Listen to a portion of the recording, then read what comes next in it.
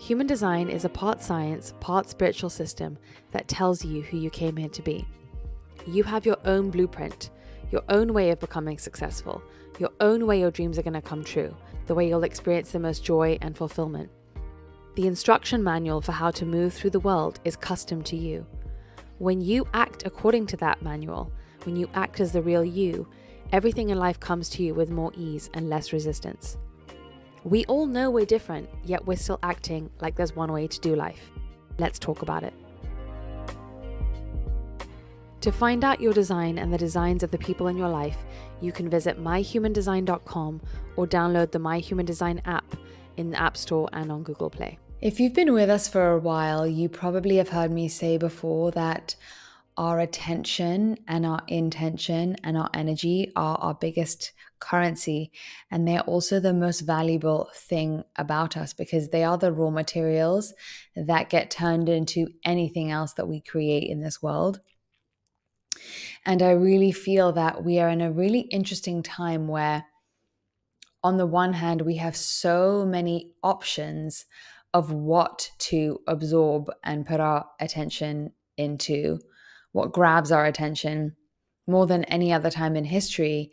And yet, the paradox is also that we value information so much less because we have so much of it. And it's harder to curate. The challenge now is if anything can take our attention, what do we give it to?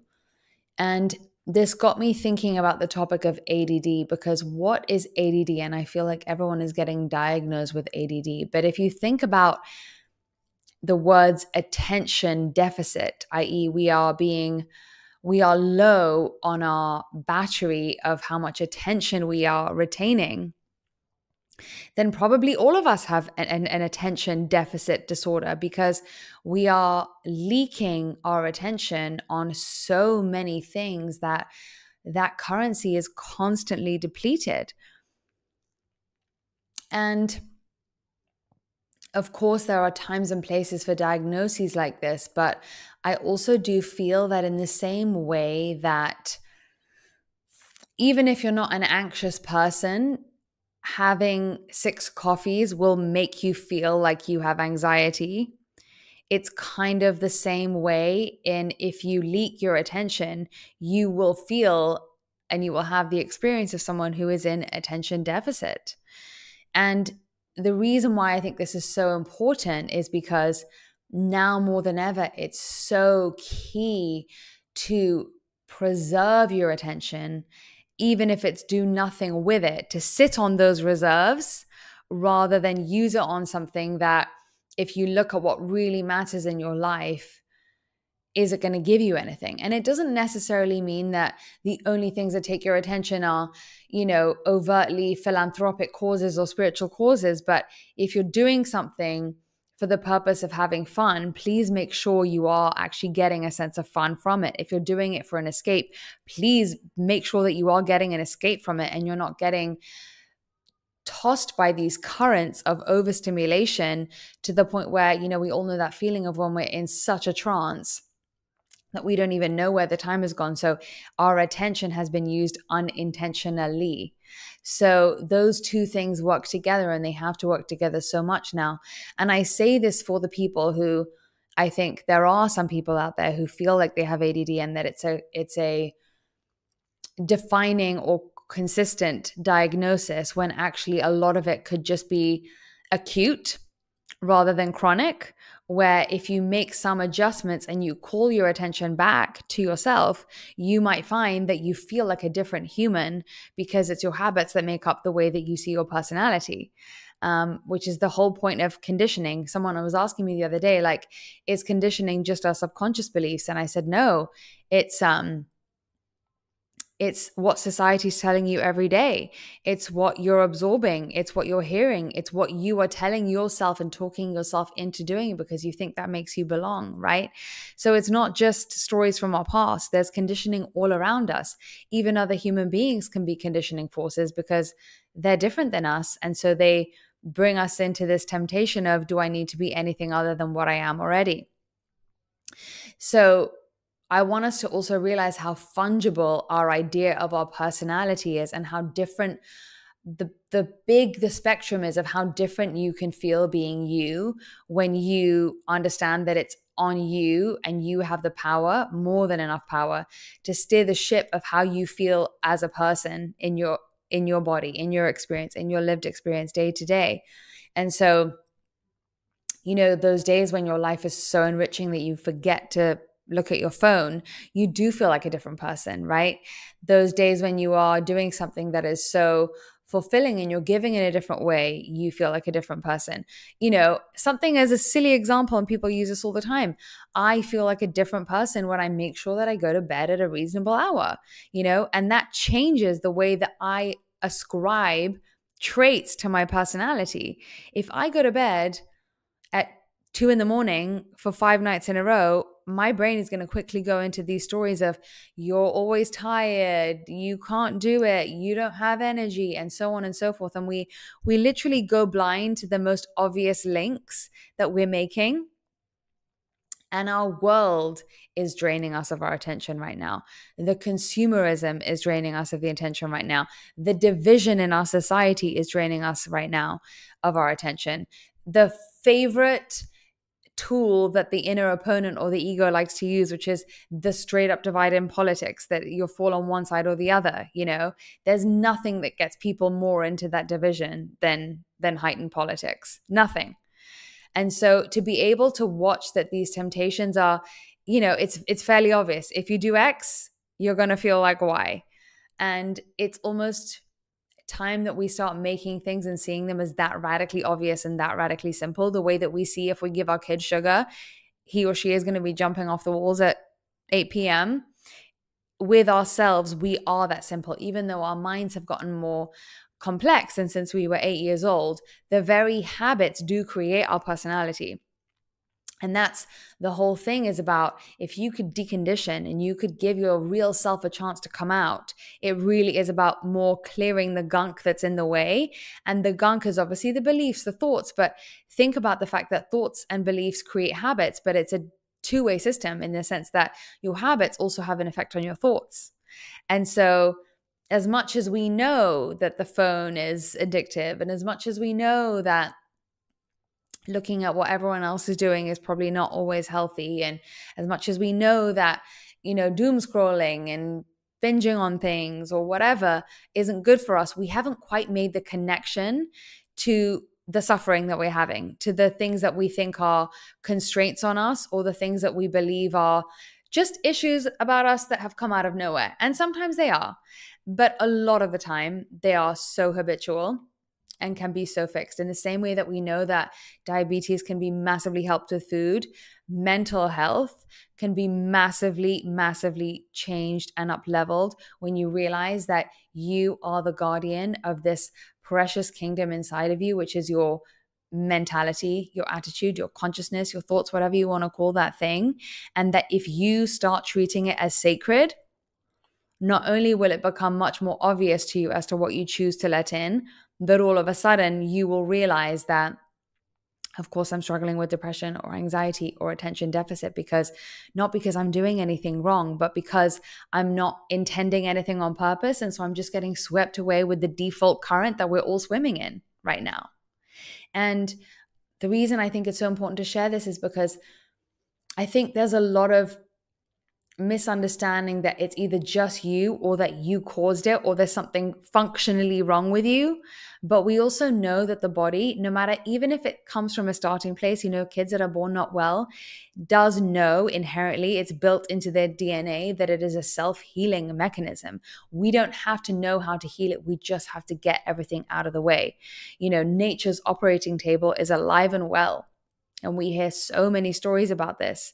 But we have to, in order to be able to even allow that to happen for us, we have to let these monikers and these diagnoses feel a bit more fungible and temporary than concrete. And also, put aside you know, like you mentioned sugar as something that could cause that experience of attention deficit, or we're surrounded by phones, we're surrounded, we're inundated by information.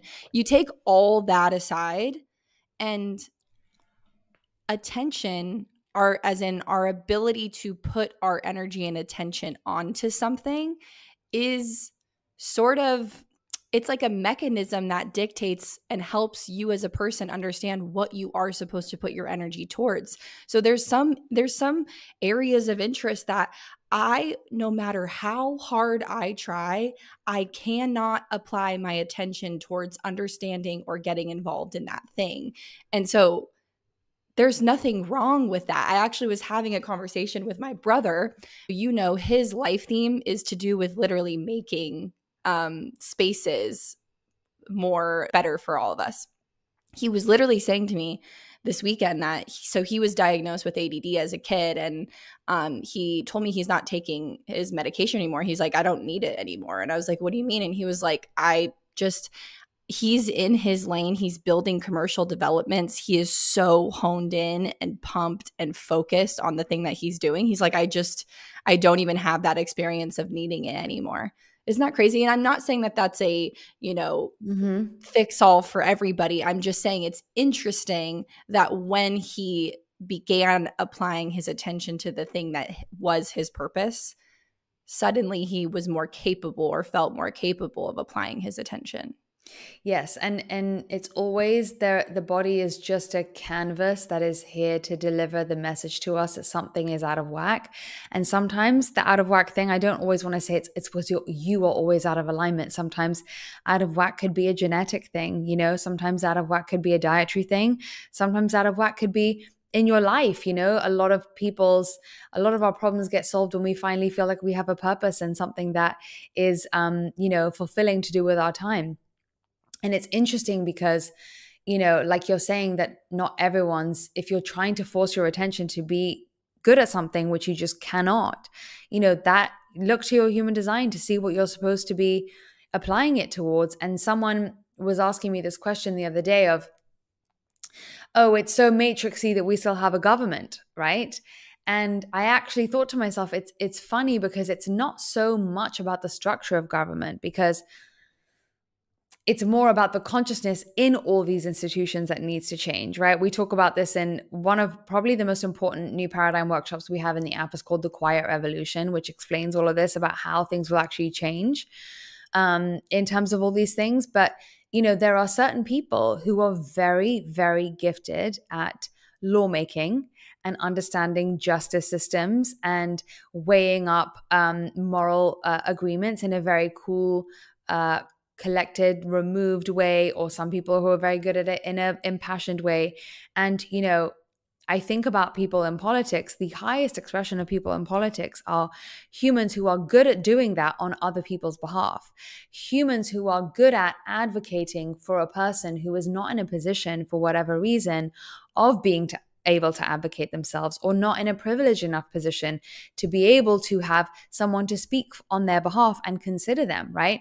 Maybe that isn't happening now but that that's that's the solution is not to throw the baby out with the bathwater and to say well if we have no government then what everyone has to understand every single system and make a decision about every single thing around them. No one wants to do that.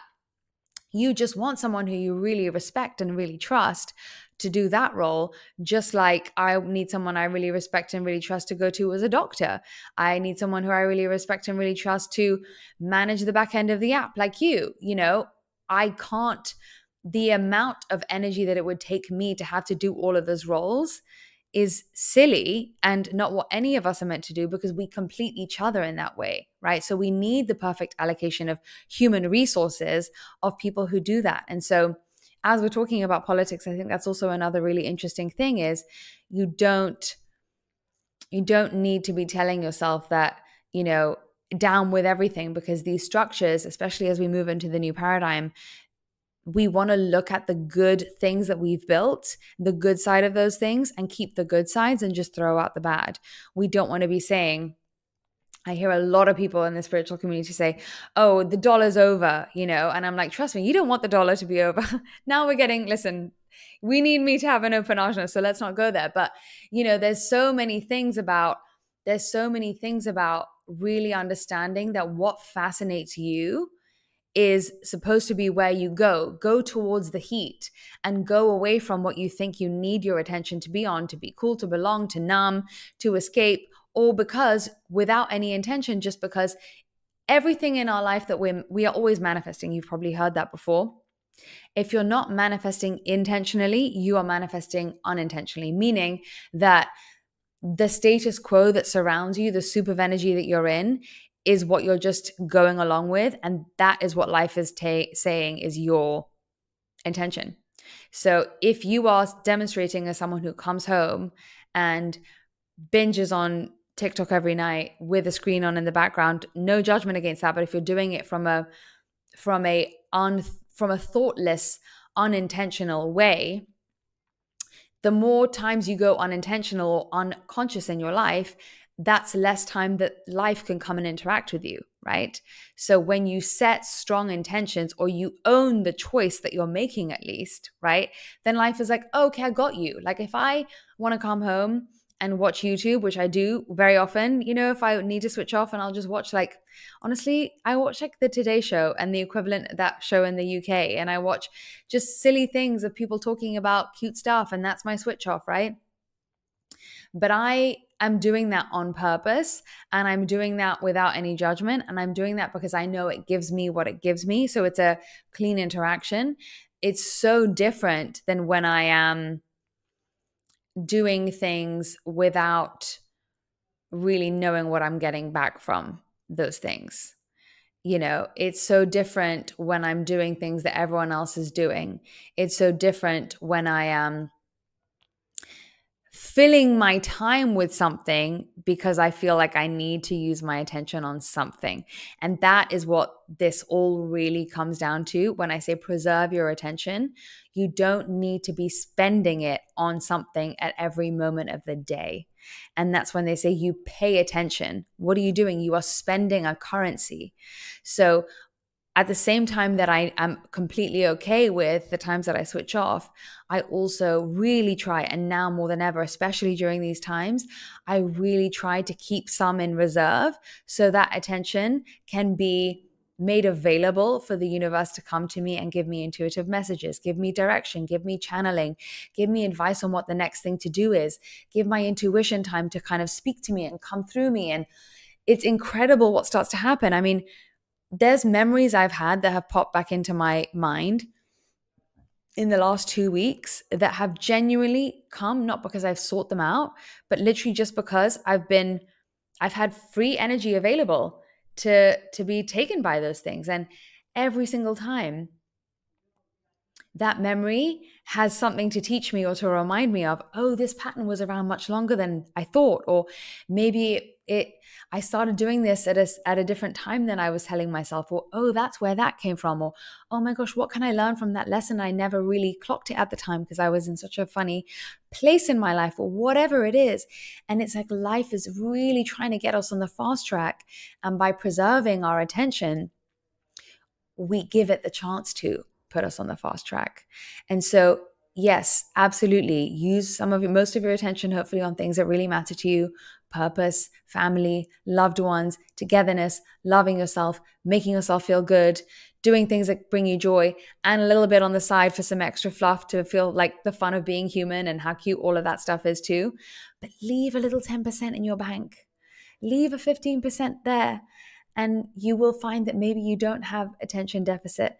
And you know, it's crazy that I even say this, and I'm including myself here, but to say to preserve 10% of your attention is so difficult because imagine we're not just even doing one thing at a time. And that's also where it's coming from is like we're living in a two screen reality where we often have a phone and a laptop going, a phone and a computer going, a tablet and a TV at the same time.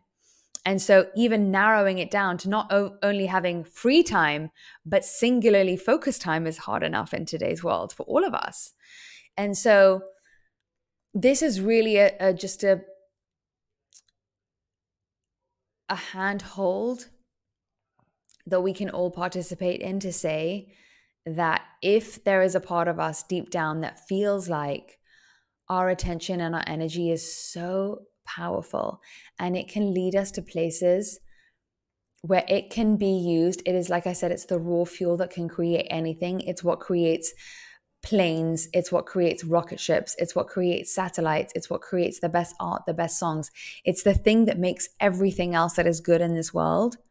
If there is a part of us that believes that, can we just save some and give it back, repay it to the universe and to our connection with the universe rather than our connection to earthly things.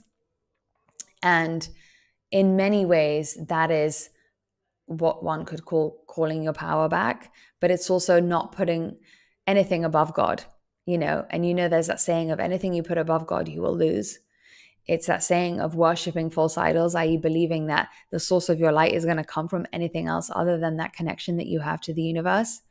So, of course, we can know this, but the practice of it comes from being okay with having energy and attention and intention free in reserve because we know, or we at least want to know and find out what the universe might be able to use that for and do that with. And it is a leap of faith that we take when we show that action to the universe, that it can then demonstrate to us that it does in fact work and it is real and it is a force that is alive and well in our lives so funny that you're bringing this up because I literally yesterday I was in the park walking my dog thinking I wanted to talk to you about ask you this question.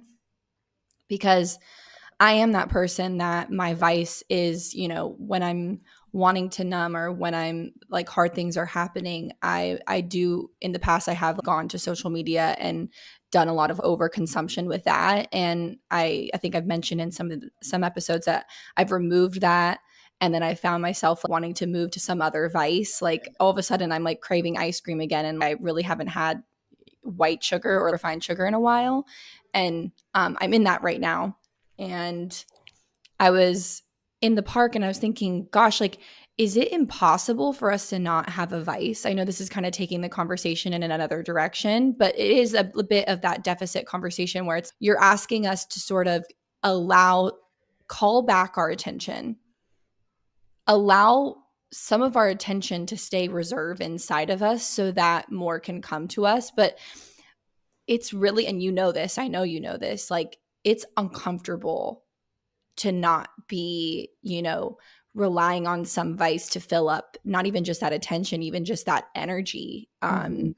Having something that is blocking us from having something to put our attention on because I think uh, um when especially when things are hard it's um we're af- afraid that our attention is going to go in the direction of the hard things that we're experiencing in life. Yeah. And we don't want to experience those so that's why we're sucking up our time with two screens been mm-hmm. there. Um so i guess my question is acknowledging the discomfort in that but also like do you think it's possible for us to actually exist in a world where we like don't have any vices like that? It's such a good question because i think even the word vices has this like negative connotation as if going to the vices is bad. Now it depends on what to what extent you're going to the vice right? If you are someone who if you were someone who was never been taught or tried to face a feeling before. That's a much bigger problem than how I think a lot of our listeners, our cluster would be using them as, which is kind of like a training wheel, i.e., you know, when you're in a really, really rough time, when you're facing something really uncomfortable, you kind of go through phase one, which is, you know, staying in bed a little bit longer or going for the ice cream or going for the morning shows or whatever it is like whatever your thing is because anything can be that. Um but as long as you know that that's almost phase 1 of when something is so charged you it's not necessarily the time when you're so raw to deal with it because you almost have to let the dust settle a little bit.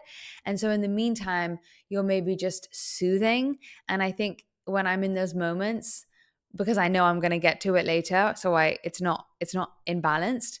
I say, "Oh, that's so sweet. Like humans are so cute. Like look at us. Like we have all these feelings and they're so big and they're bigger than our bodies know how to hold. And so isn't it adorable that you're just having a bit of chocolate or a bit of ice cream or that you're staying out too late or you're staying up too late or, you know, that's my biggest that I would say that's my biggest um one of my biggest vices, staying up staying up late.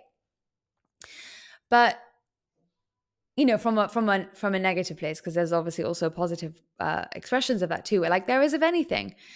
But it depends on how you use the vices. And i also think that everyone probably has one that they default to and it's interesting like you said it's it's kind of like a whack-a-mole when if you get rid of one another one will most likely come up. Do i think it's possible that some people completely live without vices? Absolutely. But do i think maybe there's a part of it that's healthy where when you're aware of what you're doing, right? Because your attention is coming from here rather than being spun by the outside all the time because you have some left inside your reserve to redirect your intentions and have self awareness. You can say, like you are, I know that I'm going to ice cream because I'm in having a difficult time right now but it doesn't worry me with you, for example. And I don't think it worries you either. Cause, you know, at some point you're going to be like, you know what, the charge is kind of gone. And now I actually can be in a moment where I can sit with it and I can face it. And I know exactly how to do that. And I'm well seasoned in it.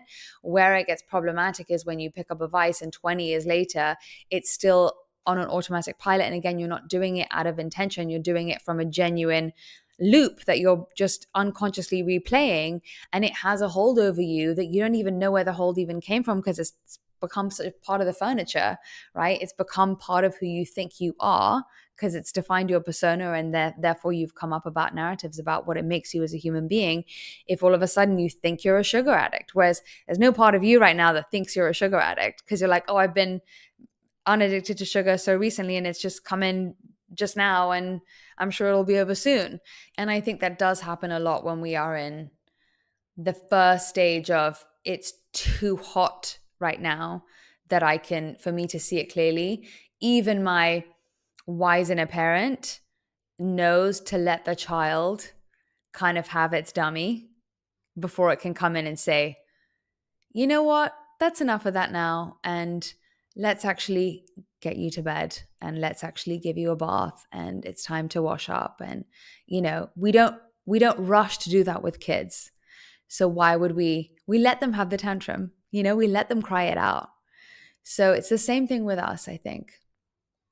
Yeah, and I think the reason why I haven't been, you know, beating myself up about it is because we have had conversations where um I, I can't remember the exact way that you've put it, but that sometimes eh, something even though it can seem like it would be poison or not not that sugar like i'm not saying sugar is poison but like it could be a poison for me to become an addiction like that's actually take coming off of the social media numbing that's actually the next step in the right direction for me and it's okay that i don't have to completely remove all numbing agents from me.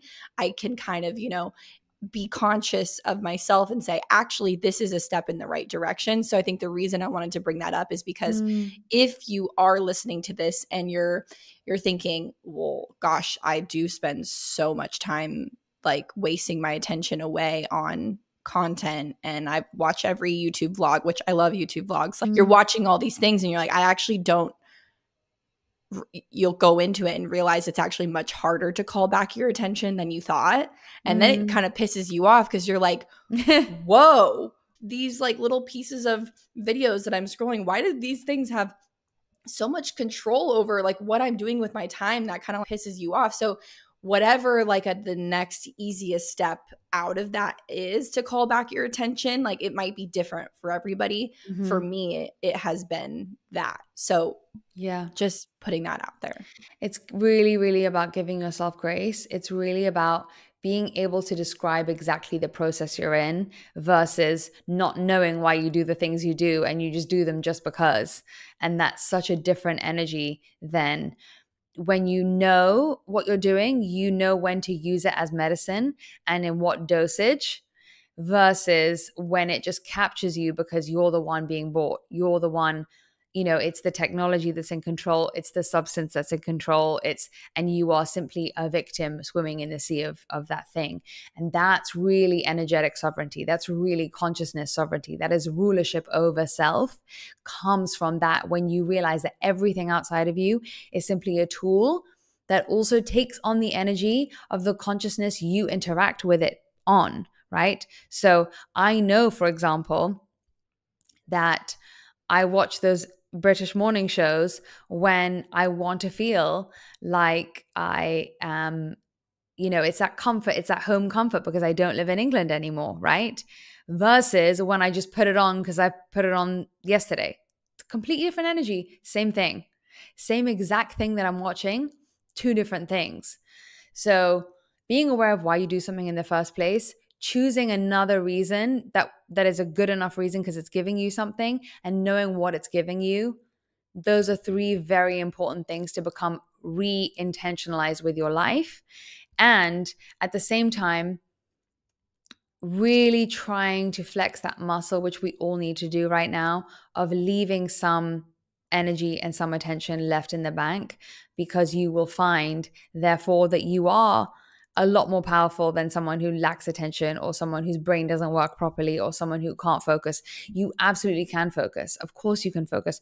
Maybe your focus looks a slightly different way than other people's. Like if you're a manifesting generator, you are supposed to focus on lots of different things in certain times, or you are supposed to move a lot faster than other people. Your energy is supposed to be, you have a lot more of a reserve. And so you have to know how to handle that differently than if you were a reflector, for example. So, and this is where human design really comes in handy. Why is it called your energy? Type because it's a it's a manual on how to master your specific battery, your specific engine and how you work with that so that you can actually make the most of it and become a genius and give yourself a chance of becoming someone who is creative and smart and at the top of their game and in so much service to the world and so excited and fulfilled in yourself and living a life that you couldn't even imagine that amount of satisfaction in your life could exist, right?